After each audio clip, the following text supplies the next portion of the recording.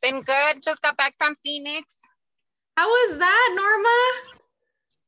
It was nice. Yeah. We got to, yeah, my husband is into baseball. So we went to watch some spring training, Fun. some baseball games. Excuse you. Yeah. This is not your training. That's awesome. How was the weather? Was it like too hot, too cold? How was it? You know what? It was really nice. Tuesday was a little bit, what was it? Monday and Tuesday was really nice. Ya nomás el Tuesday, like in the evening, got a little bit cold, but it was nice. It was hot actually. That's Yeah. awesome. Uh, me and some of my friends are thinking of going out there. So um, I have to ask, like, is there anything that you like think that we absolutely have to do when we're out there? Um, you know what? I'm all about trying new restaurants. The food Yes. I just love. I enjoy food.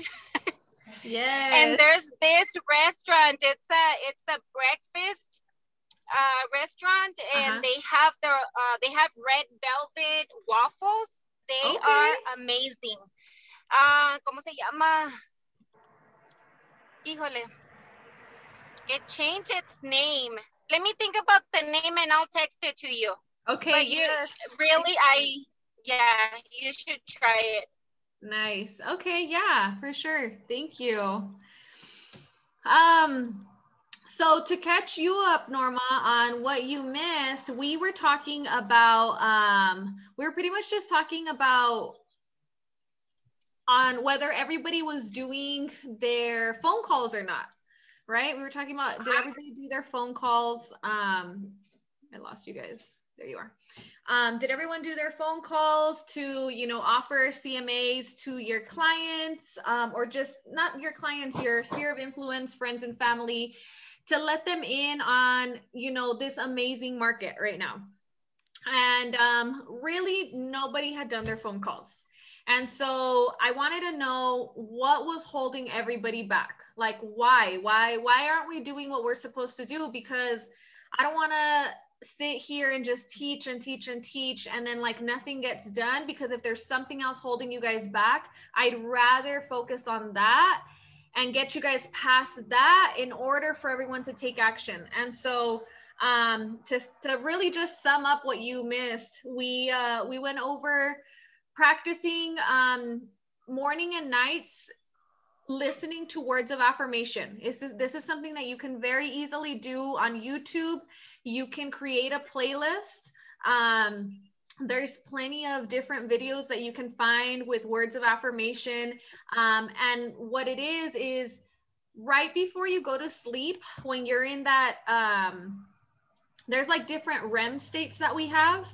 And i don't know exactly which one it is. I don't know i don't remember what what it's called exactly but right before you go to sleep like as you're dozing off and then right when you wake up those times in your your mind is the most um that's when it absorbs the most information. So that's why it's important to listen to these videos. Like if you're if you're dealing with you know not being confident oh skip that. I i totally forgot to mention that. You know we we came to the conclusion of you know a lot of us are just lacking self-confidence confidence in just you know say like just feeling confident with what we're saying.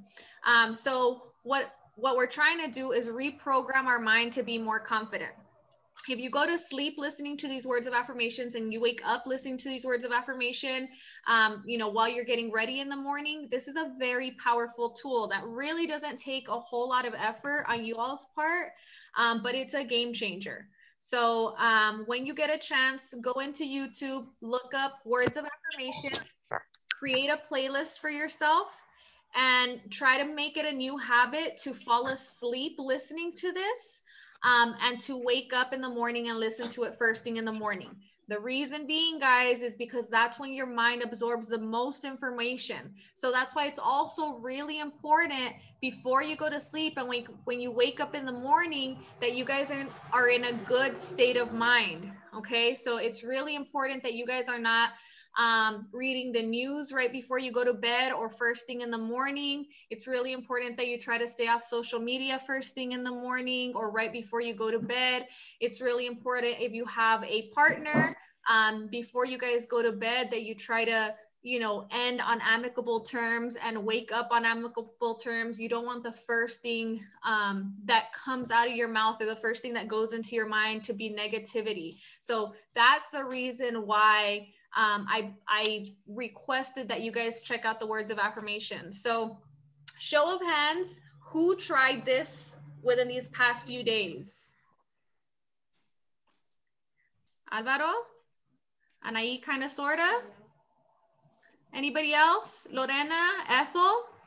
Awesome. Um, what was y'all's experience?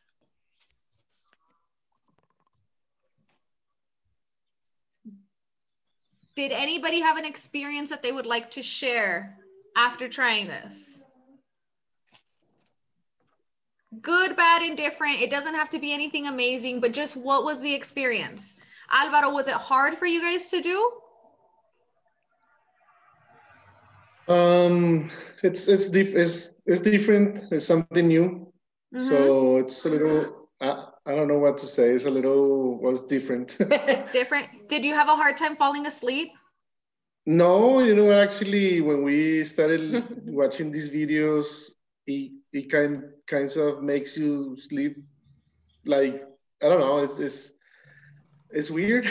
Yeah. did yes. you did you find it helpful and beneficial in any way? Well, at least in the sleeping way, yes. Yeah. Okay, I good. Mean, good. And you really haven't done it for a whole lot of time. So we talked about this Monday. So assuming that you guys started on Monday night, so that's Monday, Tuesday, Wednesday, that's really only three nights that you guys have had an opportunity to try it. And I don't know if you guys did it every single night. And then in the morning, again, that's only three mornings that you've really had an opportunity to try it. Um, but I really just I'm glad you guys tried it. Um, this is something that, you know, over time, hopefully you'll start to kind of get into the habit of it. And and I just kind of want you to to see that it's going to just help you shift your perspective. It's just going to help you build that self-confidence because what you guys have to understand is our subconscious, we have our conscience and then we have our subconscious. Our subconscious is so much more powerful than our conscience Okay. So our conscience is when we make um, certain decisions when we're awake, uh, like we might, I don't know, pick out what color shirt we're to wear. That's us using our conscience. Your subconscious has been programmed for years with a lot of your patterns. So, for example, when you tie your shoes, do you think about tying your shoes? Not really, right?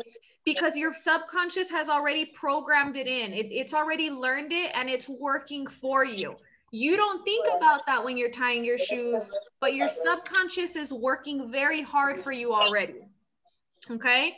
Um, your subconscious works even when you're sleeping. So that's why it's important that we prime our mind at night and in the morning um, to just be at its ultimate peak.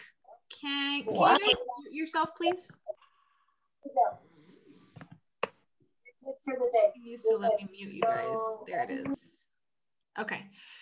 Um, so for those of you guys that haven't tried it yet, please give this a shot.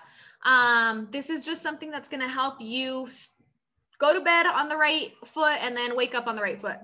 Um, so we are going to jump into our training that we were supposed to do last Monday, and that is going to be our listing uh, listing agreement. So we're going to go over the listing agreement. We're going to make sure you guys understand exactly how to fill this out. Um, but before we do, I want Anaí to share a story with you guys. Um, we jumped on a training yesterday. Oh. We jumped on a training yesterday. This training was given by one of the top producers in the entire United States. And this training was on um, listings. It was on listings. Uh, this was a training that I wanted to do for myself. Of course, Anaí's here with me. So if she has an opportunity to sit in, she always does. Um, and and it was on listings. And just like you guys i'm constantly trying to learn. I'm constantly trying to grow. I'm trying to stay you know on top of my game. I don't know everything. I know that. So there's other people that have other information to offer. And so we went to this listing um, training. And i would like for anai to share our experience with us. Hi hi shy. um well this training was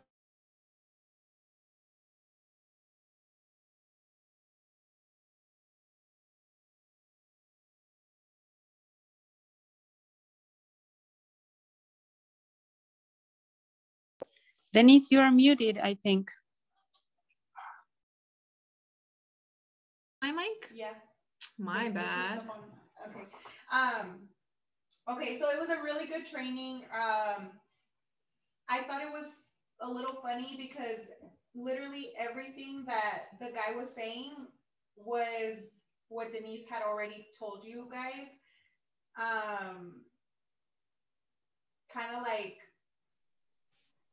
about how to get listings. About how to get listings, uh, and even like Down. with our self development type thing. Um, he just said, you know, we need to be building our relationships. We can't just call people and get down to business. Like we we have to build relationships and even when we go to the store, he told a very funny story um, that one of his best clients and referral person is somebody that he met peeing at a restaurant. Like, you would never think that meeting somebody in the restroom at, at, at a restaurant or wherever is going to bring you business but we just have to keep the, the mentality of be nice to everybody, reach out to everybody, you know, talk to everybody, talk to everyone, everyone. Mm-hmm. Because if you're having a bad day, maybe they'll brighten your day up. Or if they're having a bad day, you'll brighten their day up. But just talk to everybody. Everybody. Yeah. So thank you, Anai. That was really something that I wanted her to share with you guys because I didn't know. All I knew was that the training was going to be on listings. Um, I knew who this person was. I knew that he he held a lot of weight in the real estate community. I wanted to go and check it out. Um, and you guys, literally, he was telling all the agents to the, do the exact same thing that I told you guys to do he literally told them to do the exact same thing. Casi, casi, like, huh, yeah. exactly the same. Like, we were sitting there looking at each other, like, really? He's teaching my class. Like, they, it was so. I say this not to make me sound any type of way, but I say this because this is a man that charges $400 for his trainings. This is a man that can fill up an auditorium with thousands of people, okay? And he literally sat there and said, guys, reach out to your sphere of influence, reach out to your past clients, let them know what the market looks like, use Ford. Ask them how their family, friends are, um, occupation, recreation, dream, and then let them know what the market looks like. Let them know that, hey, I've never seen the market like this before and he he kept saying can you say that with integrity can you say that with integrity each one of you guys? I've never seen the market like this before. Can you say that with integrity? Yes. None of us miss connie you've been in real estate for how many years? Uh, more than 13 more than 13 and lorena how how many years have you been in uh, real estate? Six. Six. Have you ladies ever seen the market like this before? No, I never. Haven't. Never. So when we reach out to a client, can you say with integrity, I've never seen the market like this before? With integrity, like with honesty. Yes, right? Yes. So one of the one of the hurdles that we were talking about last time was thank you ladies was feeling like it's because I don't want to come off as a salesperson. It's because I don't I don't want to come and and make it seem like I this is all I'm all I'm calling for. No, listen, guys, please understand you're bringing value to people. We've never seen the market like this before. Never, ever, ever. That's that's a valuable thing. Um, for sellers, and, and I'm gonna use his words because this is this is from the training that we went to. Sellers are sitting on a gold mine, and a lot of them don't know it, right? But this is what Mr. Dusty was saying. um, they're sitting on a gold mine and they don't know it. Don't you think they would appreciate knowing that? Are you going to force anybody to sell their house? No. No, if they don't want to sell it, they're not going to sell it, but they would appreciate to have that information. Buyers, on average, the last six years, our average interest rate has been 6%. Our average interest rate for the last six years has been 6%. What are our interest rates be? Who, who got a, a buyer pre-qualified recently? Anybody have a buyer pre-qualified recently? Lorena, what was his interest rate, his or her interest rate at? 3.375. 3.375. That's a high interest rate right now. That's a high one. So for buyers, don't you think it's somewhat of value for them to know also, hey, interest rates have never been this low before? Now, what's so valuable about the interest rate? It's not just, oh, I'm going to get in and get pre qualified at an interest rate that's low. Guys, remember, this is a fixed rate for 30 years. That means that even if our interest rates jump up next year or the next year or the year after that, they're going to get to you, they're going to get to keep whatever interest rate they agreed to right now. That's super duper valuable. People don't know these things. Like the average person doesn't know this stuff. You guys know this stuff. So stop getting in your head and overthinking it because you're the professional bringing this information to your clients. Okay. So I really hope that helps. I really hope that you guys get to it um, and make these calls. Um, has anybody had any success with these calls since Monday? Has anybody reached out to anybody and tried to give uh, a complimentary CMA or told a friend about, hey, this is what the market's looking like? I did it. You did it, Ethel? How did that go? Yeah. Um, I, I don't know. I need to wait. They are they they don't know what they want to do with their house. They are moving, and the thing is that uh, she her her her mother lives here. Well, in Juarez, mm-hmm. so it's difficult for them to get rid of the house because now they are moving, but maybe they are going to come back. Mm-hmm. So that's the only thing they are they are they are thinking. Yeah. Where are they moving? To to Oklahoma. Okay. Okay. Yeah, and and, and we talked about that and I gave I, I did the CMA, so I gave a range. I didn't I didn't give her a number. Um, she she needs to talk to to her husband. And uh, she told me yesterday night that that they talk and that he's not she he doesn't know. So i i told her i can go. He's moving in three weeks. So i told her we can go. We can talk with him.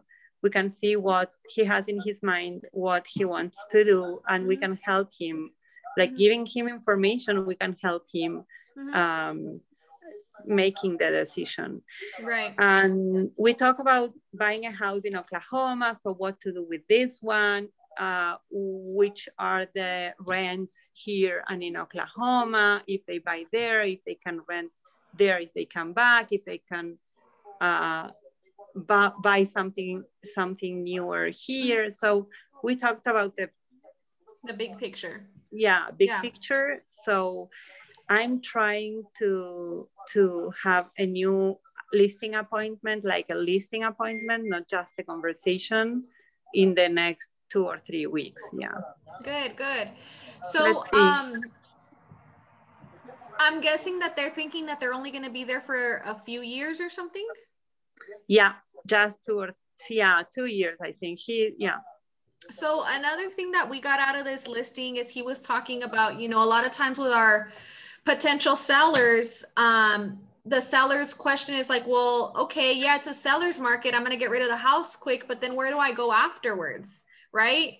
And um, for somebody in a situation like that, Ethel, if they're planning on moving somewhere temporarily, it's a man, it's a great opportunity for them to sell, to cash out on their investment, and to rent temporarily in another state. That would yeah. be like just kind of off the top of my head, based off the little bit I know, if I was in that situation, that's probably the move that I would make right now. Just rent temporarily.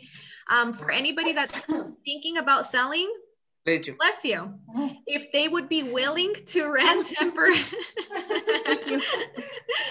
if they're willing to rent temporarily, that's actually a really good move. Now, not well, yeah, they are not thinking about that. They are thinking on buying a new house there because the rents there, uh, it's a very little town, but the rents are higher than here. So okay. I, I said, I think it's better to sell here, to go with the money there, to buy your house, and he's, they are not going to have a, a loan, to take a loan. I think uh, his parents are going to pay okay. for, are going to give like a loan, but it's not a loan for them.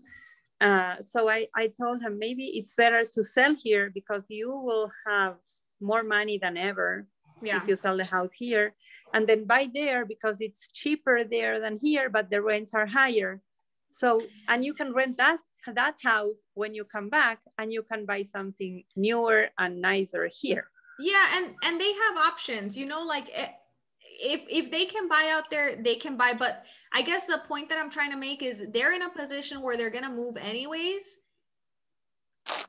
remind them that their house has never been worth as much it is as it is right now.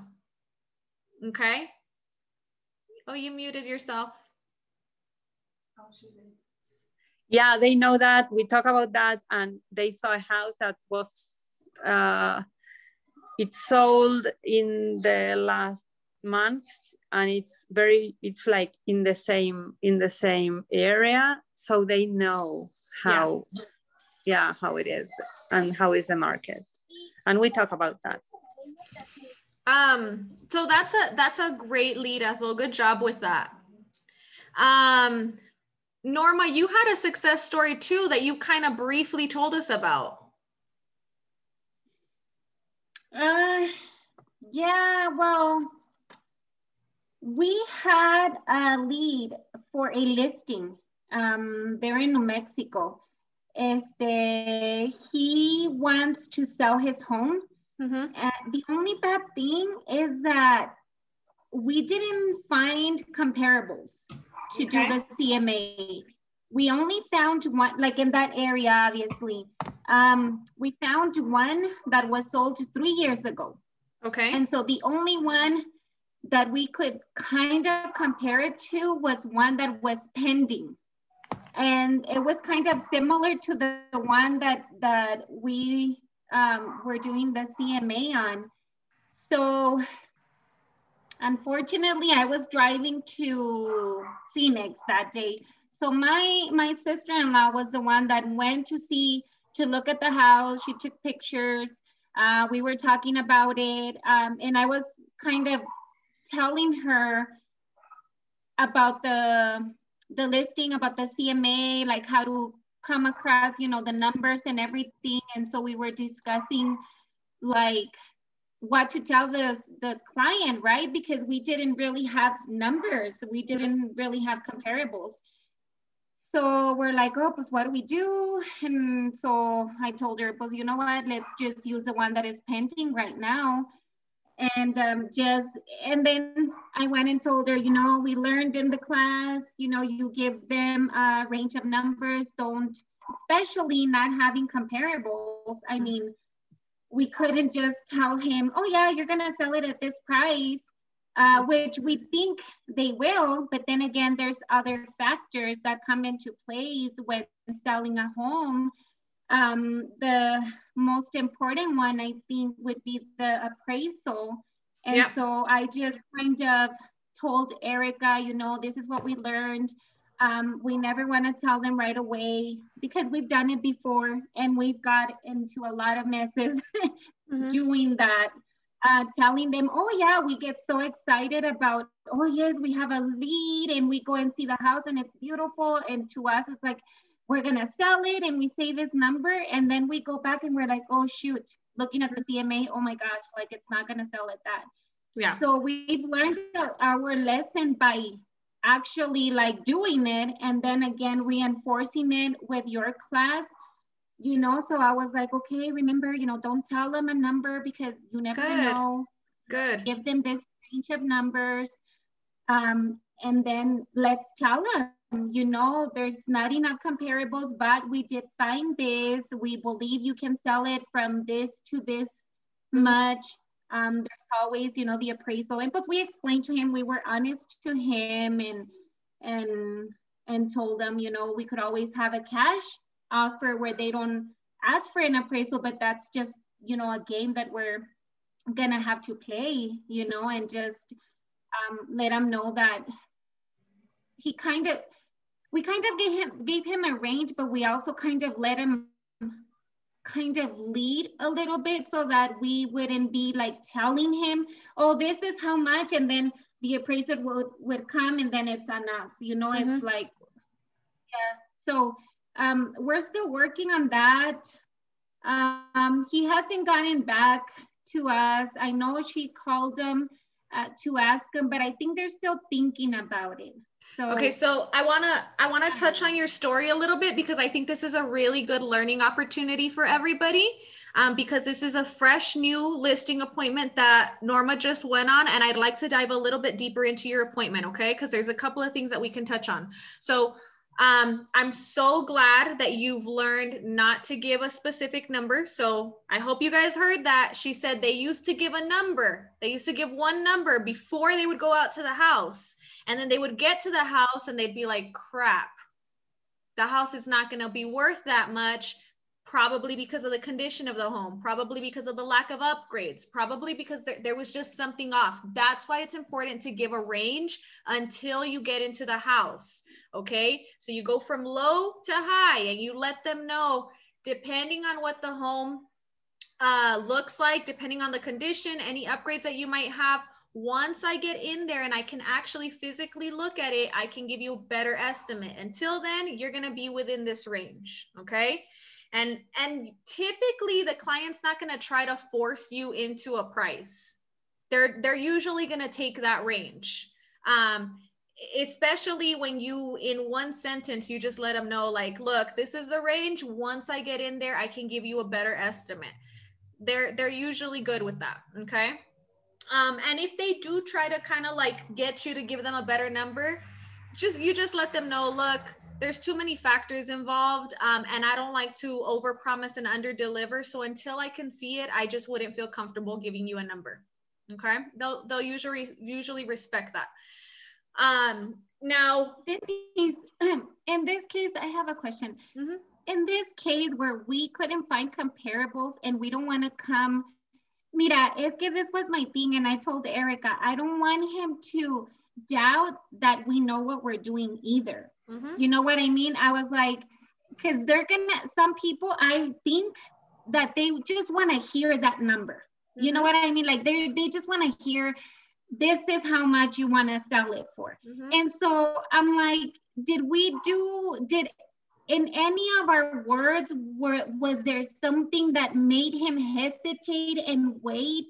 Mm-hmm. You know what I mean? I think I don't I don't get it quite right you know, to use the words that they want to hear in order for them to know that I got you, like I can do this, I, I yeah. can sell it for you. Yeah. I still I feel like that, that's why I want to dive into it because you didn't get the answer mm. that you wanted. You got the let me think yeah. about it. And that's not yeah. really the answer that any of us need right now. So I'm going to help you get an answer. Okay.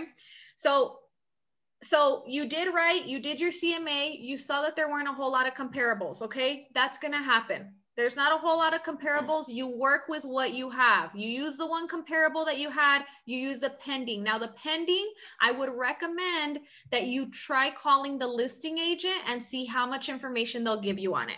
If the listing agent doesn't give you information, try the buyer's agent. Just try to get as much information as possible. I'll be honest, as a listing agent, I don't like to give information if it's pending. I'm being completely honest. Um, I think if it's pending, it's just very, it's very up in the air and you could be an agent that could bring me a backup offer if this one doesn't work out and i don't want to give that information away. However if i had a relationship with you if i knew you norma and me and you are, are compas and you told me the situation i would tell you. I would tell you. That's mm-hmm. why it's important for you guys to have realtor relationships also Okay. And that's why it's important for you guys to work on your communication skills. We talked about reading the communication book because even if we're not compas, but you know how to approach me, you might be able to sway me to give you that information. Okay. Two, what type of personality is he? Is he social, analytical, social conscience, or a driver? Mm,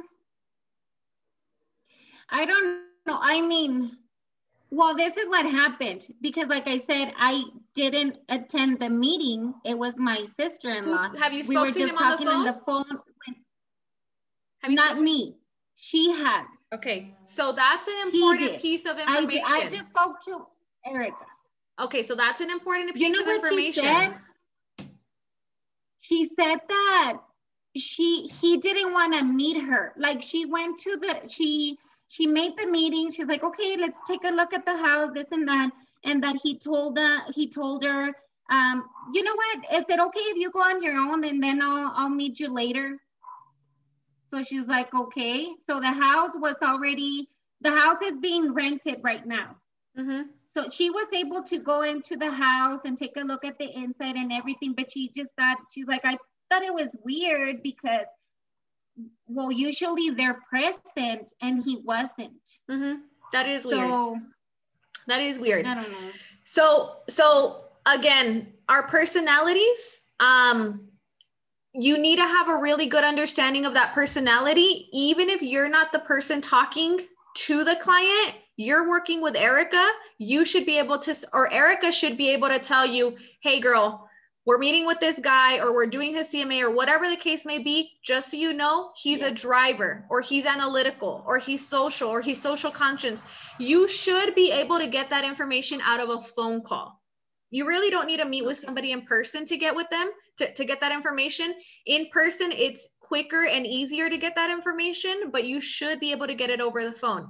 And it sounds like he might be a driver because he asked yeah. he requested something out of the norm um it it almost kind of seems rude and and a drivers can come off that way because you're like what the like why yeah. but again you guys are losing control you're losing okay. control you control the appointment you're the professional your time is money too. Yeah, sure, you got things to do, but my time is money also. I'll I'll do what you got to do for me, but don't make it so easy for him to pawn you off and let me get what I'm going to get and and you know, on my terms. Like, you know what, Mr. Ortega, that's fine. Uh if you can't be present, you know, I know your tenants are there.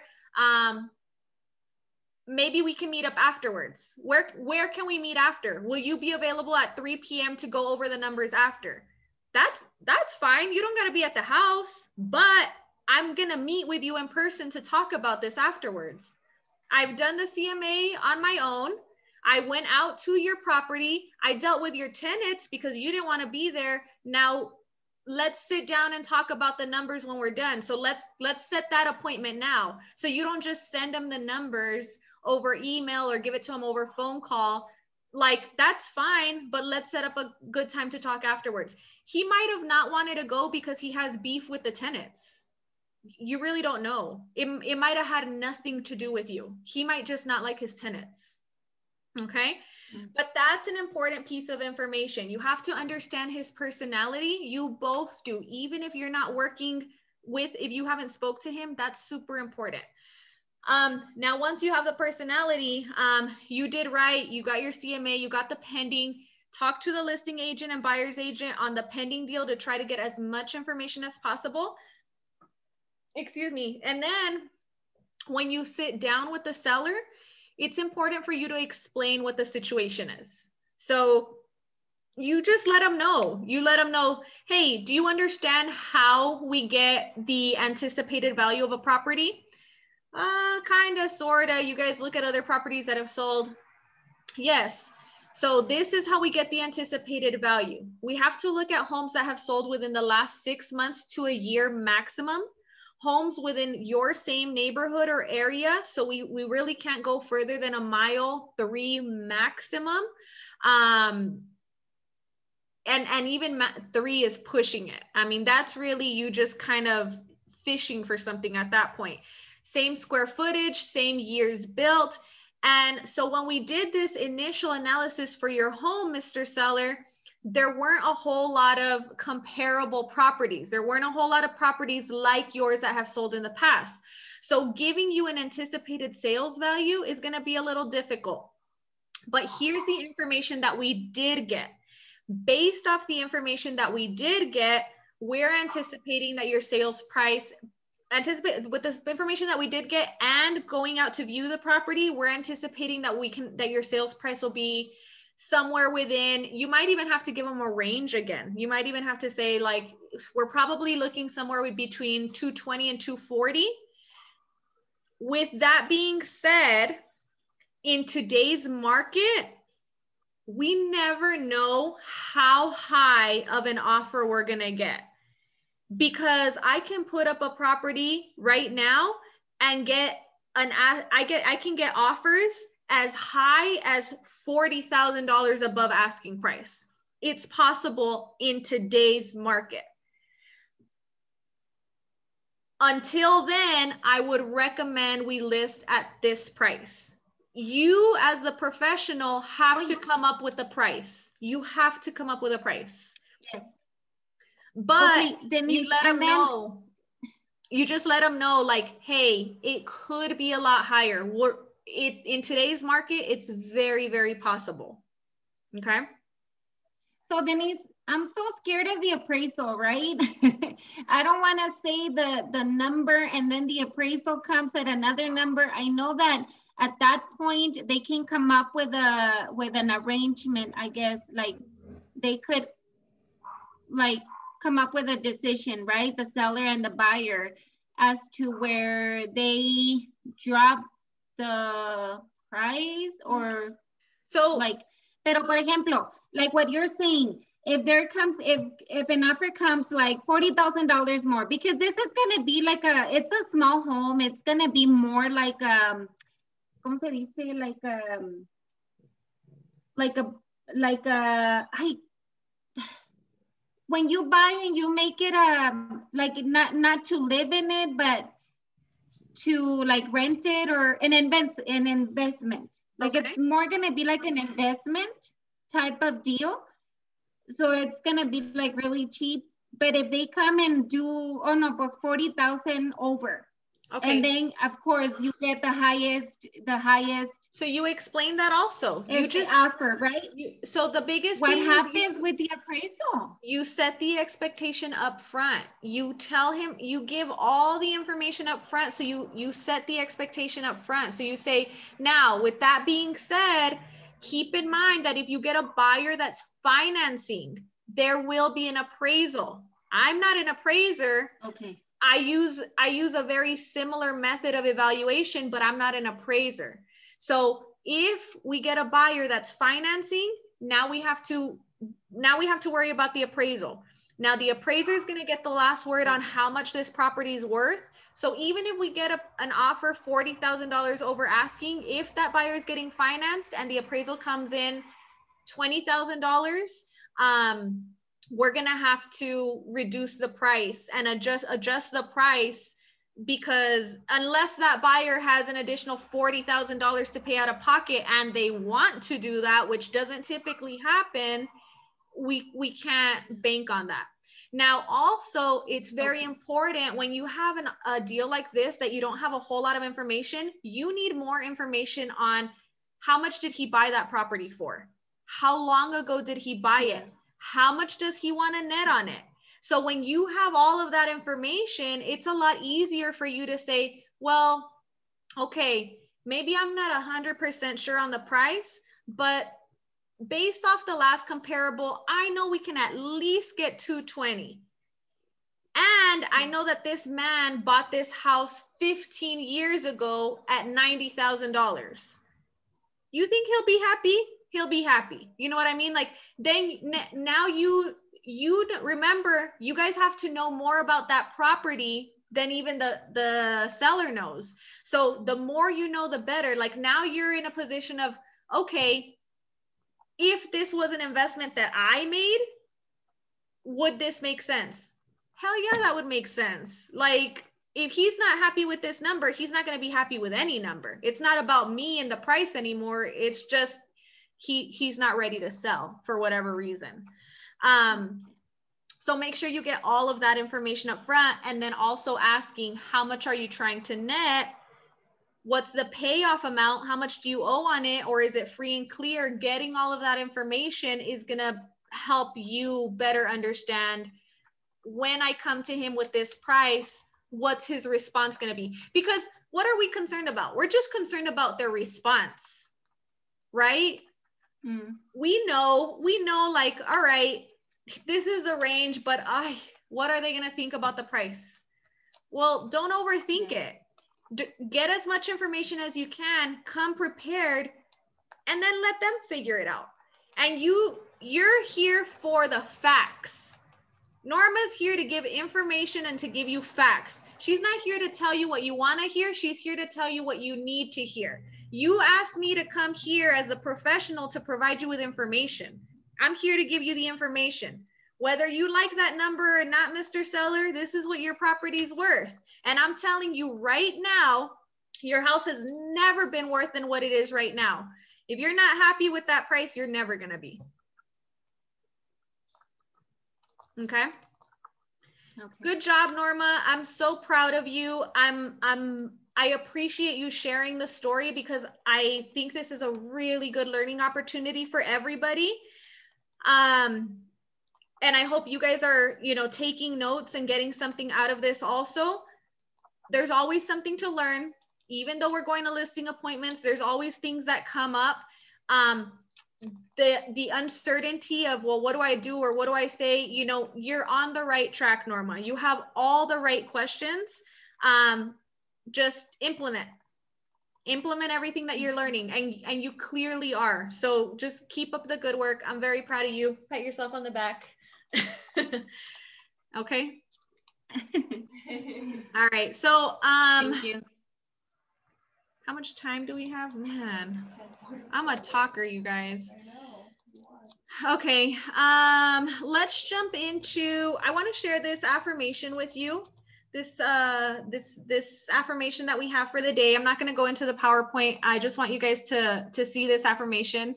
I have the power to create all the success and prosperity I desire. I have the power to create all the success and prosperity I desire.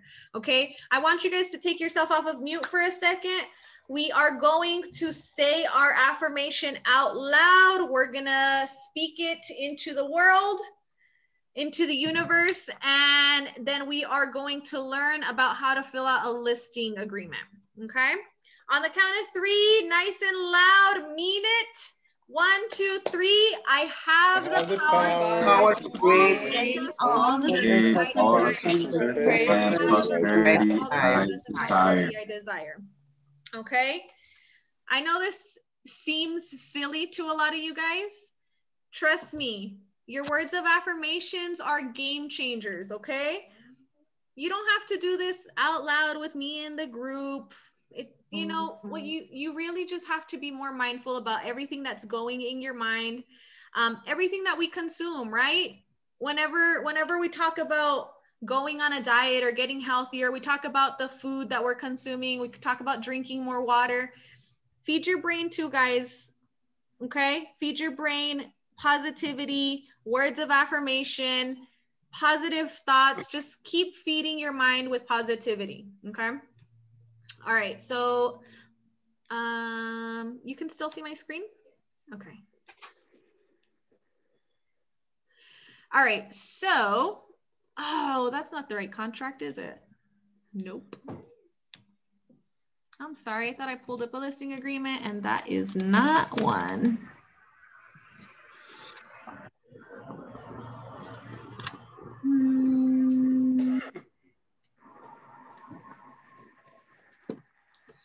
Okay, I'm going to show you guys an example of a listing agreement.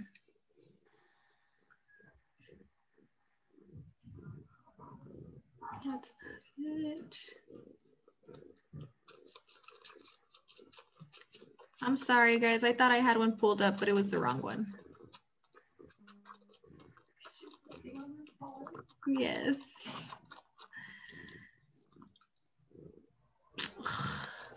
Look at me thinking I was ready and I'm not at all.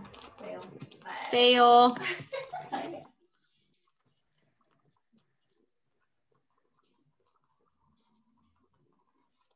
Look, you guys, how cheaply my cat is. She sucks on her thumb. she sucks on her thumb and she wants to be at all the trainings. it's my baby. Is that a cat or a dog? It's a cat. but she has this weird habit of of sucking on her thumb. Uh, Ethel or Anaí, one of you guys help me out, please. I cannot find a listing agreement for the life of me. I can send you one. Please. To you. Okay. Let me look at it. I thought I had it pulled up, but it was the wrong contract. Um, she has this crazy habit of sucking on her paw whenever she's feeling chiple. And when I was little, I used to suck on my thumb probably until I was like seven. oh wow. I think I I was pretty old when I stopped. Yeah. so when I got my kitty and she did that, I was like, oh, she's my baby.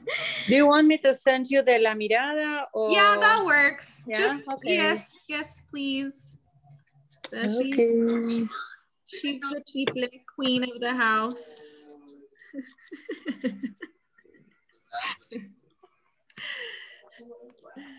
I had to share that with you guys. All right, so just give me a second so I can pull up this listing agreement. And so it's really important for you guys to um, first read your contracts, guys. Um, I've heard like, oh, well, I don't know how to explain the contract. Just read them. Read them from start to finish. Um, yeah, they're boring. They're contracts. Nobody said they were going to be fun. But if you already know that you're going to be working with a lot of buyers and that you keep having buyers consultations, well, read your buyer's representation agreement. Make sure that you understand what it says so that when you explain it to people, um, you you know what to say. So same thing with the listing agreement. I'm gonna review it with you guys the same way that I review it with my clients. Okay. You so, you have it in your inbox. Thank you. I think. You know what? I think that's why I'm in the wrong one. Um, so I'm gonna review it with you guys the same way that I review review it with my clients. Um, I'm not gonna go line by line with you guys because it's already 11:50. I don't want to keep you guys all day. Thank you so much, Ethel. Um, but I'm just gonna do a quick review of this is how I explain it to my clients. The just the average client and the reason that I feel so comfortable doing it is because I understand my contract. Okay. Now, if they ask questions on it, I'll go deeper into it. But I don't, I don't want to go line by line every single time I do a listing, uh, every time I have a listing agreement filled out. So I'm just going to go and, and this is exactly what I say. So take notes.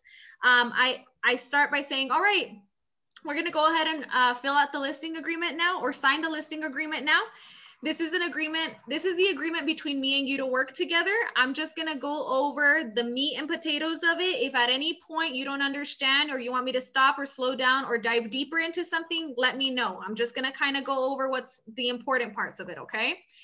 So first page, we have all of your information. Please review it. Make sure all the information on here is correct.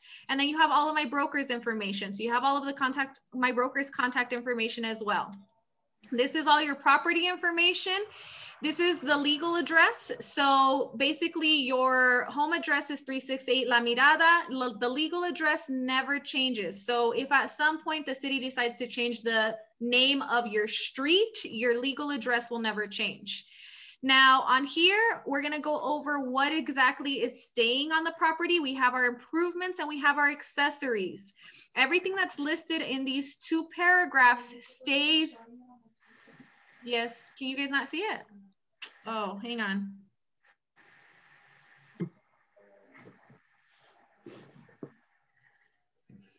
Sorry. Tori. Um,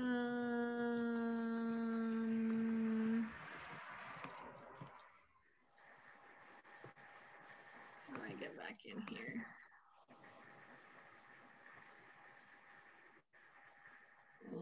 I'm kind of lost now. I don't know. I think I need help with this one. I don't know where my big, oh, up here maybe, new share? There it is. Okay. Sorry. okay. Okay.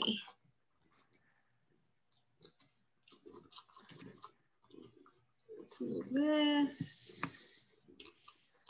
All right, everyone can see it? Awesome, possum. All right, so you guys are gonna be my sellers. I'm going to be the listing agent, okay? All right, Mr. And Mrs. Seller, I'm gonna go ahead and review the listing agreement with you. This is the agreement for us to work together. I'm gonna go over just the meat and potatoes of it all. If at any point you don't understand what I'm saying, if I'm going too fast, or if you want me to dive deeper into it, please stop me and let me know and we can do that, okay? Line number one, this is all of your information. Please review it and make sure all of that's correct. Then I give them a second to review it and make sure all of it's correct. Everything looks good. Awesome. Let's move forward. Second line, this is all of my broker's information and all of their contact information. Remember, not only do I represent you, but my brokerage rep represents you. If at any point anything were to happen to me, um, if I'm out of reach because I'm, you know, unable to answer for whatever reason, you have their contact information. Also, you have all their information on the information about brokerage services, which is another document that we're going to include in this packet. Okay. This is the property information. This is the legal description of the property. Um, this address will never ever change. Your street ad address might change at some point if the city decides to change it, but the legal address will never change.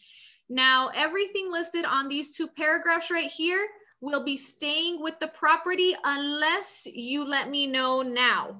Okay, so everything that you see on here, screens, shutters, awnings, wall-to-wall -wall carpeting, mirrors, blinds, window shades, draperies, etc. Please review this. If there's anything on here that you plan on keeping, I need to know because I need to include it on number on on line number D under exclusions. Baby, you've got to chill. Um, so on this one, we've already reviewed. Um, break from my role play. Um, I've already walked through the house. If there's anything that I'm seeing um, that I think they might want to keep, I actually want to point this out to them. So um, for example, TV mounts. That was one that I didn't realize when I first started, stayed with the house. So TV mounts stay with the house. I always ask like, you know, I see that you have a bunch of mounted TVs. Are you okay with leaving those TV mounts? They're typically going to say yes. Um, if if they want to keep anything that's listed in here, I always recommend that they remove it before we show the property. Baby, you need to chill. um, I always recommend that they remove it before we even show the property. That way, there's no confusion with the buyers. Okay. Line E, is this an HOA? Yes or no? Okay, that's what we're checking off there. Listing price. This is the price that we're agreeing to list the property at. You're going to fill that in. The term of the agreement. Personally, I do four month terms. I let them know that a lot of agents will do six month terms. I don't I don't think it's necessary to do a six month term, especially in this market. Um, my goal is to sell your property and to sell it quickly. Um, I don't see a need to have it listed for an entire six months. So we fill that in. Broker's compensation. So broker's compensation is 6%. Now, of that 6%, that gets split up into three, three for the, to, for the listing side. So 3% goes to my company. From there, I get a commission. And then the additional 3% goes to whoever finds you a buyer, the buyer's commission or buyer's company. And then from there, their agents gets a, their agent gets a, a split. Now, if this is a deal that I have with my clients, you guys are more than welcome to offer this to your clients. I recommend it. Now, if a buyer is unrepresented and a listing and I become an intermediary, I will give you a discount of one point. So now instead of paying 6%, you'll pay 5%. Okay.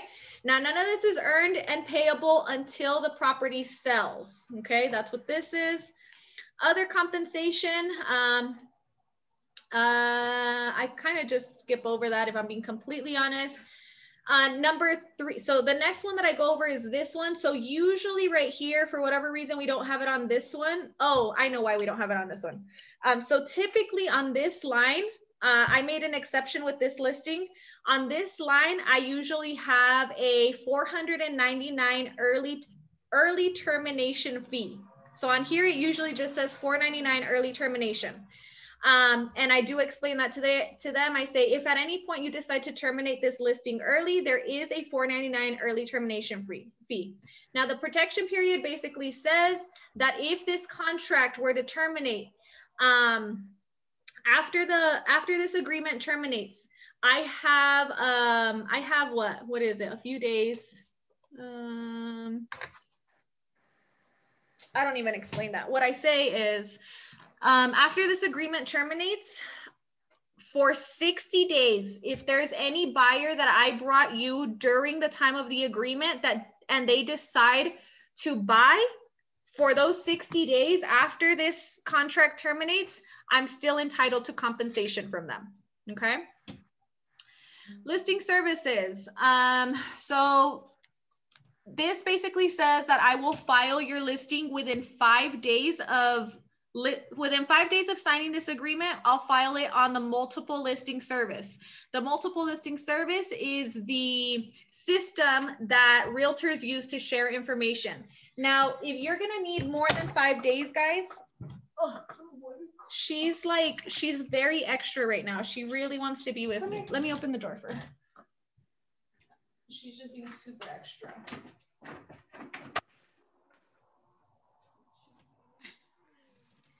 Okay. Um, so if you guys need more than five days, you can always in under special provisions, and I'll show you where here in a second, you can all you can always change the number of days because five days is actually really quick, right? Um, typically the way that I work it is I get this listing agreement signed as quickly as possible, like at the listing at the listing appointment but then my sellers might need a week or sometimes even two weeks to prepare the house. And then I have to get the stager in there, I have to get the photographer in there, and then it could go in the MLS. So typically, personally, I'm looking at about a two week window to prepare the property to go up on the MLS. So I usually shoot for one week of giving them for preparation. Um, and it's important that you guys push your clients to have everything done by a certain time. So I usually give them like a weekend. So if I met with them on Wednesday, I want them to be done by Sunday. If I if I met with them on Monday, I want them to be done by Sunday. Like I give them a weekend. Um, you want to push them to get it done as quickly as possible if they're not going to be able to do it in that time frame they'll tell you but if you don't give them a deadline they're going to take forever to get it done. So you have to give them that timeline. Most people only need one week to declutter, to clean, and to do paint touch ups because most people get it done in one weekend. That's really all they need. Okay. Um, so a lot of times what I'll do instead of checking off the five day under special provisions, I'll give myself 14 days to put it up on the MLS. Okay. Because remember, if we ever get audited, you guys need to make sure that you're doing everything by the book. And this is basically saying from the time that you sign this to the time that it went on the MLS, no more than five days. So if you need more time, give yourself more time. Okay. Um, the next one, this basically reviews um, what I'm gonna do with your listing. It gives um, it gives me authorization to put your information on the actually no that's not the internet one. This one gives me authorization to access the property um, at reasonable times. It gives me authorization to share um, information with certain certain people inspectors appraisers um, duplicate keys to facilitate the property conveniently um, this right here is going to give me authorization to put a lockbox on the property Okay. Um, at this point, this is a good time for me to usually ask for the keys. So do you guys have a copy of the keys that I can take with me right now? Okay. Do they or don't they? Usually they don't. So I say, okay, that's fine. Um, can you go ahead and get that done by the time that I come back with the stager, please? Um, because usually, so right now I'm at the listing appointment. Right now I'm at the listing appointment and I'm getting the listing agreement signed. They need time to prepare the house. I'm giving them homework. Right now we are giving them homework. Okay. They have a lot of stuff to do and you need to make it clear what they need to get done. You need to clean, you need to declutter. Oh, also, I need a copy of the key. So if you don't have one right now, that's okay, but get one by next week, please. I'm going to put a lockbox on the property. Are you okay with me putting it on the front door or would you prefer for me to put it on the side gate? On the side gate, please. Okay, perfect. I have my handy dandy notebook, so I'm taking notes so I don't forget this stuff. Okay. Um, liability and indemnification. I always go over this with my clients. Please make sure you guys go over it with your clients. Okay. We are not like uh, we are not liable to any any loss or anything that might happen in the property. So yes, there are going to be uh, there's going to be a lot of people accessing your property but our lock boxes are really cool. What they are is they're actually managed by our id card that has a chip on it. Only realtors are going to be able to access your property um, inspectors and appraisers also at that point when they you know when they come. But realtors are only going to be able to access your property. They actually have to insert their id that has a chip on it. So we can see who's going and coming at what time. So it's pretty secure. However in order for you to be best protected please make sure that you hide any of your valuables.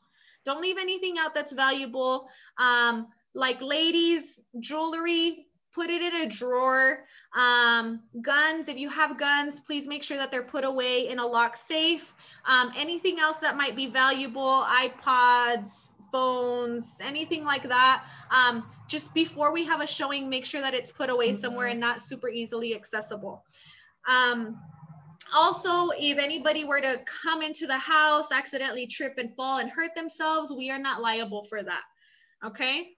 Um, now, cooperation of other brokers, like I mentioned before on the commission, what we're gonna do is we're gonna do 3% for the sell side, 3% for the buy side. And that's basically telling you that right here. Now, on the plus side, if we have an agent that is not part of the association, a non-MLS broker, we can actually reduce their, their commission down to 1%. I'll be honest with you, Mr. and Mrs. Seller, that doesn't happen very often, but there is a chance that it happens. And if it happens, your, your commission will be discounted as well. Okay. Intermediary. Now I'm going to explain this to my clients also. This is very important to explain. Why? Because I told them that if I have a buyer that's unrepresented, I will give them a discount at 1% if I become the intermediary. However, what does the intermediary mean to them? The intermediary means that I actually stop representing them completely, right? I can't give them advice anymore. My my representation shifts, okay? So, Mr. and Mrs. Seller, I'm going to give you all the information that you need to know up front. I'm going to advise you up front. Now, if I bring a buyer that's unrepresented, I can't advise you on offers and counter offers anymore. I can't tell you, oh yeah, go higher or go lower. You're going to have to make those decisions. So pay attention because I'm going to give you all the information up front. At that point, if I bring a buyer and you're getting that discount, that means that I'm working with you and I'm working with them. And in order to be fair, I can't, I can't tell you what to what to accept and not accept and offer and not offer. So I'm going to give you all the information up front. If you don't want me to do that, I don't have to do that. I can assign that client over to somebody else, but the commission will go back up to 3%. Okay, fair? All right. Um, now, all of your information is confidential, not only during um, the time that we're working together, but forever and after all, uh, forever and after after this. Um, these are the types of buyers that we are going to entertain offers on. We'll entertain offers on conventional, VA, FHA, and cash. Um, if your seller is willing to entertain any type of owner financing, you're going to want to check that off. But typically, these are the four that we're looking at. Okay. Um, seller representation. Here is a list of all of my duties to you. Or sorry, sorry, sorry, sorry, sorry. These are a list of all of your duties to me as a seller. Um, is there are there any liens on the property that you know of besides the mortgage? No, nothing else? Okay, perfect. Um, mm. and you're current on everything? Yes. Okay, perfect. Um, the name of any employer relocation company. Um, this doesn't typically apply to us, so that's not NA. Now, seller's additional promises. This is your agreement to me. And it basically says that you're going to cooperate um, with me, that we're working together. So this is a team effort in in in selling your property. So you're going to allow us access into the property. You're going to allow us to market the property. Um, you're going to assist us by by selling. Um, do not please do not negotiate with any buyers so you're going to have friends and families that might friends and family that might approach you neighbors that might approach you about the sale of your home don't negotiate with them just don't talk to them just give them my information and let me do that for you okay i'm professionally trained to negotiate on your behalf that's probably the biggest thing that i want you to do okay um, limitation of liability. Again, we're going to go into the liability. Uh, broker is not responsible or liable in any manner for personal injury to any person and for any loss or damage. So we kind of already went over that. Um, seller agrees to protect and defend and indemnify cost seller's negligence. Um, I will say this much for our sellers. Um, when I go over this, I also like to tell them about the seller's protection that we offer. So typically, just like I offer my buyers a home warranty, did you guys know that there's a seller's home warranty that you can sign up for? So with Old Republic, for example, that's that's my home warranty, my preferred home warranty company. I'm pretty sure the other warranty companies have one also. So you might want to look into that. Um, but what we do is, so we're going into liability and we're basically saying, hey, we're not liable for anything, right? But I'm still going to provide you with some extra protection, okay? What I am going to provide you with is with a home warranty, seller's home warranty. So I don't want you to spend any more money on this property than you have to. Our goal is to sell this property and make as much money off of it as possible. So what I'm going to do is I'm going to get you a seller's home warranty. What that is, is it's a protection package um, offered through a home warranty company. And it basically covers some of your major appliances. So during the time that your property is listed, if any of your major appliances were to go out that are covered by the home warranty, all you'll have to pay is a $100 service fee, more or less. They'll come out, they'll check it out, they'll either fix it or replace it for free. And at that time, I'm going to give them the home warranty package so that they can review it. I'm not going to review it with them. It's on there. I've circled it and I just give it to them okay because we're talking about liability and like i'm not gonna you know i'm not liable for this but we want to offset it with something so that's a good time to talk about that Okay. Special provisions. This is where I said if you need more time, get more time and plug it into your special provisions. Okay.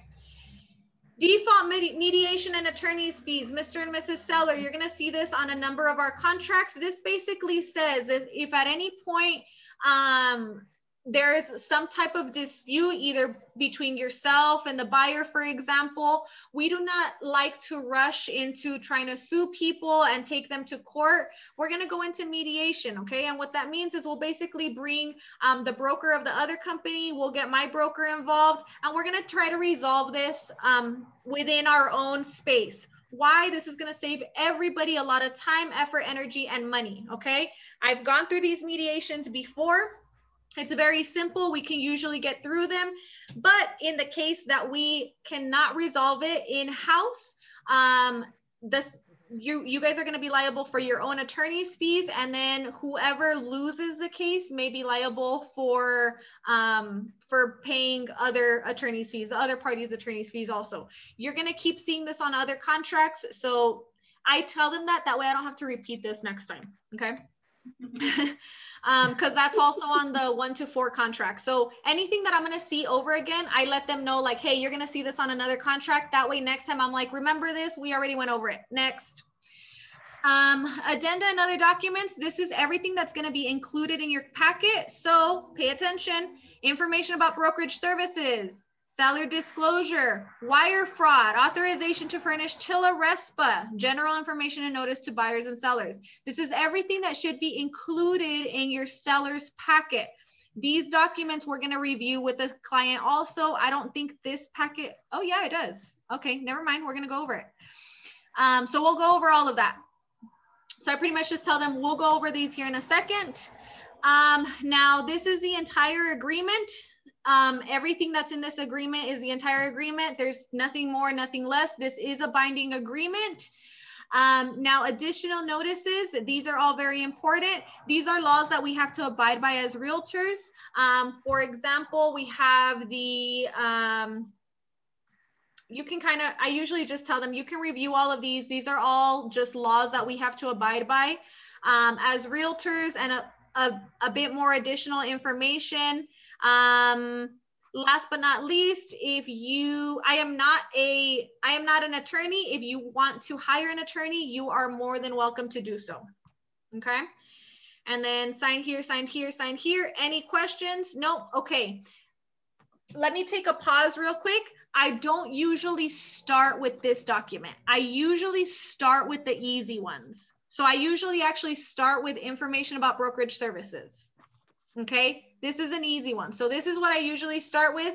And then that agreement is the last one. Why? Because you kind of want to ease them into it.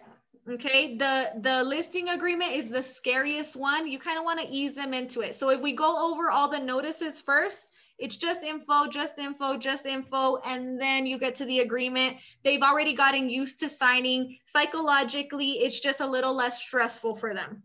Anytime anybody signs something that's legally binding, it's a stressful experience. So we want to kind of ease them into it. So information about brokerage services, this basically gives you the difference between a sales agent and a broker. Um, just so you're aware, not only do I represent you, but my broker represents you. So you're gonna have all of my brokerage information here. You're gonna have my broker's information and my supervisor's information. If at any point you cannot reach me, if I were to get injured and be in the hospital, you still have representation. Please make sure that you keep all of this information. General information and notice to buyers, is literally what it says. It's general inform information and notice to sellers and buyers. This, you can kind of think of it as like a giant glossary. A lot of these terms you're going to find on a lot of the contracts that we go over from now until the time that we close. If there's anything on here, if there's any words that stand out to you that you don't understand, please review it. It's going to go over some environmental concerns. It's going to go over flood hazards, historical information, inspections, repairs, walks, walkthroughs. Um, it explains what the multiple listing services, which is basically the database that we use to share information um, property insurance. I just kind of like run through this because it is just general information and notice to buyers. Um, there's a couple of them that I like to kind of review. Uh, so for example, I can't speak on criminal activity or sex offenders. However, there is a website here provided to you for when we're looking for your for your next purchase. You can jump on that website and it'll give you the information that you're looking for. Okay. Um, a lot of this information is going to come up on other contracts, so you do want to check it out. That way, when it comes up on the documents that you're signing to um, agree to the sale, you're already familiar with it. Uh, now, wire fraud, we're going to go over this one a couple of times. Um, I'll actually skip it for now because I'm going to go over it with them when I go over the wire fraud. TILA-RESPA, this basically gives me authorization to share your information with other parties involved in the transaction. So for example, our title, uh, lender, escrow agent, etc. And then, so that's the end of it. I'm missing my wire fraud. So when I get to my wire fraud, I would go over, I would say, um, I tell all of my clients the story that I tell you guys. Every single one of my clients, I tell them that. I want them to really understand the severity of wire fraud. Um, somebody posted on WhatsApp recently that it happened to them, right? And and I just tell everybody, and I think it's important for you guys to tell everybody because this is how people lose a lot of money. A lot of people are coming in with big down payments right now. We're matter of fact, we're advising them to come in with big down payments. Okay. So make sure you're advising them on how to protect that money, please. Um, I basically tell them, look, wire fraud right now is very real. Um, the biggest thing that you need to know is if at any point you're about to wire money, make sure that you speak to me directly on the phone or the title company directly on the phone. These hackers are very, um, they're getting really good at what they do. And um, I've heard stories of an agent's client where they made an email that looked like their agent's email asking for money and the money got sent there. So we just, we don't want you sending the money to the wrong place. Just make sure before you wire anything at all, you speak to me directly. All right, any questions? It's a lot of talking. It's a lot of documents. So you guys have to get really comfortable with it you have to get really comfortable with it. You have to understand it because it's a lot of information. Um, and I was kind of stopping and giving you guys a little bit extra here and there. I try to run through it as quickly as possible with my clients. I try to just give them, again, the meat and potatoes, what's really important. It's also important that you guys understand your client. Now, if you're going through, this is another reason that I like to start with, with these guys right here so if I'm going through my information about brokerage services, have you guys ever had a client where I start explaining and they're like, ah, just pásamelo, pásamelo, yo lo firmo, pásamelo, pas, yo lo firmo. Sometimes they don't want you to explain it. You need to catch that right away. If they don't want you to explain it, they don't want you to explain it. Just say, okay, do you, are you okay with just signing it? You're okay with me not explaining it? If that's what they want, that's what they want. Okay. Because because for a lot of people it's actually annoying for you to explain it to them okay? They they trust you. They're like yes i'm gonna sign whatever you want me to sign. Just give it to me. I, I want to go get my hair done now. You know like it is what it is. So that's why another reason i like to start with these guys these are information. We're going over it. If they're like rushing you to pass it to them you can even say like here you go. Do you want me to just pass you the packet? You can review it. If you have any questions let me know that's your personality type. Sometimes you don't have to. Sometimes the client's going to want to read everything. In those situations, sometimes I just pass it to them and let them read it because sometimes they don't want me to explain it. They actually just want to read it themselves. Um, so you kind of have to gauge what it is that your client wants, how much information they need or want, and then allow them to, to move forward with that. But you still have to understand it to a certain degree. Okay, Fanny? Question. What do you think that uh, is much better uh, the time you uh, present the, the listing agreement? Um, explain everything before they sign or uh, every page you explain, uh, you ask them uh, to sign each page, uh, page? Oh, everything as I go through it. So I'll do one page and I usually try to pick like the one major item that's on that page. You see how I, I skipped a lot of information. Um, I usually want to go over like the stuff that we filled in. So I'll do one page and as I'm doing it, okay, here you go, sign on the bottom. Here you go, sign on the bottom. Here you go, sign on the bottom. This is what it is, sign on the bottom. And we go, that's, we, we go around in a little circle getting the signatures. Okay, because a lot of times if you give them the whole packet, it se les va a pasar una página, you're gonna miss an initial. It's kind of better if you're explaining page by page, you'll make sure that you get everything. Um, and then, yeah, uh, it's really important also you guys get everything signed in the correct place. I recommend that before you guys go out there, um, you have one of these printed. Remember, we want to assume the sale. We want to assume that we, when we go out there, we're going to get the listing. So assume the sale, come ready with your packet printed out. Um, and then you might even want to highlight the areas where they're going to have to sign an initial. This will keep you better prepared because as you're explaining that, that's a lot of information. And it's a lot more information if you have to figure out where they have to sign an initial. So if it's set up easily for them where it's highlighted and it's ready to go, um, it just makes the entire process easier and smoother. Um, the one thing that you'll probably want to leave empty is the listing price, right? We don't want to walk in with a premeditated listing price, especially after we told them that we have to see the property to have a better estimate. So don't don't have that pre-filled in. Um, now, if you are filling that in with them and everything's typed out and the only thing that's not typed out is our listing price, make sure that they initial next to it. Okay.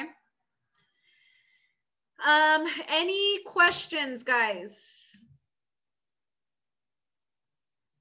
No questions. Let me run through, make sure I'm seeing everybody. Questions, questions? Nope. Okay. I know this was a long one, but we really did have to go through this listing agreement. Um, that's all I have for you guys today.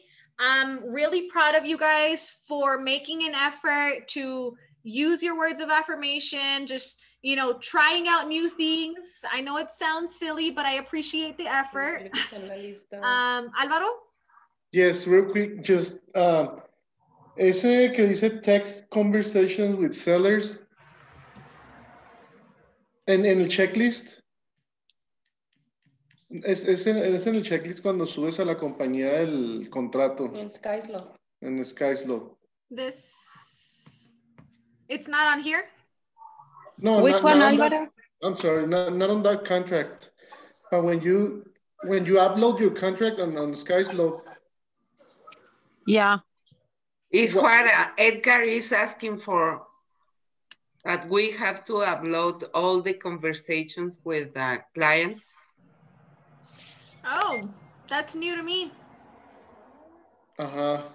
So we don't know how what what to upload or how to upload. Take, I don't know what to do.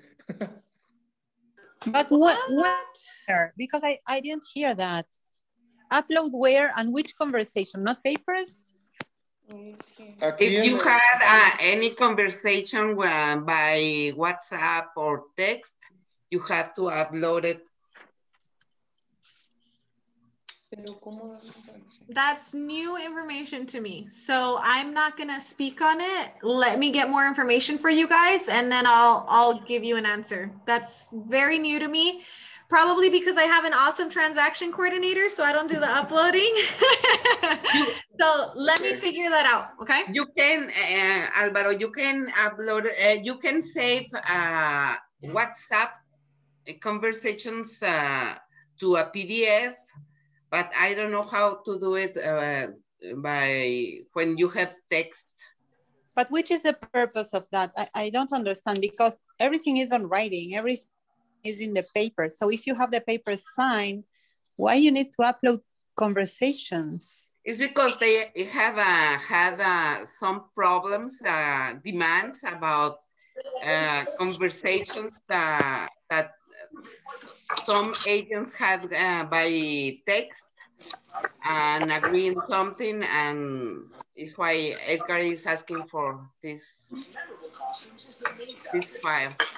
but I think, so, sorry, but I think that's something that if you are arranging or negotiating something with a client, you need to write it. You need to write it in a paper and then upload it as a document, as an amendment on the listing, an amendment on the buyer's rep. You can do that. You have the amendments on the on all the documents. So because well, I don't know. We need to talk with Edgar because yeah, I think I think we need to get clarity, Ethel, before we speak on it. Um, but yeah. it is very important that whatever you guys are agreeing to is going on an amendment or it is going on one of these um, contracts. Um, so if at any point you make a different deal with a client, like sometimes uh, my clients will say, "Well, what if I bring you the buyer?" Honestly, I don't typically give a discount if they bring me the buyer, if I'm being completely honest. Um, because that could mean that they literally just shared my Facebook post and one of their coworkers from 10 years ago happened to run across it. Like it's it's really difficult for me to just say like yes if you bring the like just just sharing the content that I'm putting out doesn't necessarily mean that you brought the buyer you know what I mean? Um, for me, it's more so, well, if you bring the buyer and they're unrepresented and I be- can become the intermediary, then it makes sense for me to drop the price. Um, but just understand that I've I've done all the initial marketing. They usually don't give me too much of a of a hassle unless unless when I go to the listing agreement, they already have somebody in mind. They're like, "Hey, this person right here, I already have in mind, I'll actually put their name down. I'll say, okay, if that person decides to buy, I'm going to reach out to them first and they don't have an agent. Um, let me let me write it down here just to show them like hey i'm trying you know um but typically i don't agree to that uh obviously i'll, I'll do a case by case um but yeah that's my take on that all right, guys, I hope you had, um, I hope you guys got something out of this. I hope you appreciated the training. I appreciate each and every one of you guys for being here. I appreciate each and every one of your willingness to learn and grow and be open to all the information that I'm sharing with you. And I hope that you guys have a great weekend. It's Thursday. So get on top of doing your searches for who you're going to show properties to over the weekend. Um, if you haven't already done your, your phone calls to offer free CMAs, today's a good day. Try to set up some listing appointments over the weekend also. Listing appointments are really good to do over the weekend also. So you guys can make some calls today. Um, if you don't do it today, tomorrow's Friday. Nobody wants to talk to salespeople on Friday. So today's your day, guys. Get moving. You have the whole rest of the day um, and then Saturday, Sunday, make sure you guys are being safe, please. Please make sure you guys are wearing your mask. Make sure you guys are hand sanitizing. Um, also, I've been hearing that there are a lot of families that are bringing a lot of people into the houses, and this is making sellers uneasy. Guys, COVID 19 still exists it's it's still around um, so if you're showing homes to your buyers make it a point to let them know hey we're trying to be as safe as possible. Please make sure that you wear your masks and we're only allowing the buyers to come in. We don't want the whole family there especially the kids. Guys we don't want everybody there. So please make arrangements to not have the children there. If they're serious about buying they'll make it happen so we can't have Theo and Tia and grandma and uncle and like we can't have everybody there. So that's your job as a buyer's agent to let your clients know, okay? And it'll make your life easier. You don't want all those people there. It will. All right, guys. I love you. Have a beautiful, beautiful Thursday, and I will talk to you soon. Thank you. Thank you so much. Thank you. You're welcome. Thanks, Denise. You're welcome. Bye bye.